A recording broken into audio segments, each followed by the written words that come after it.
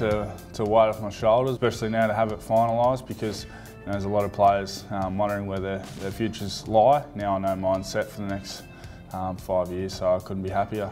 I really believe in you know what we've built and what we can continue to achieve um, going forward. That's you know beyond this year.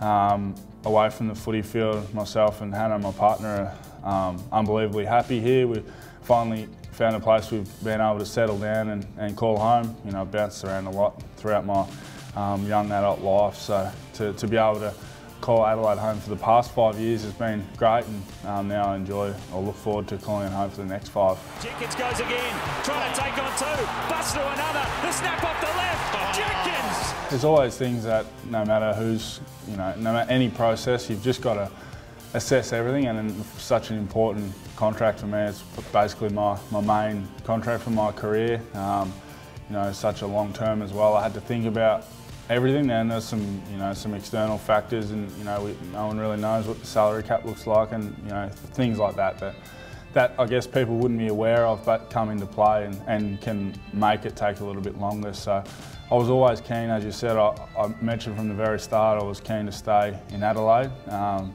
you know, so I never really looked um, too hard elsewhere. Jenkins looks at Thompson. Sawyer's under pressure.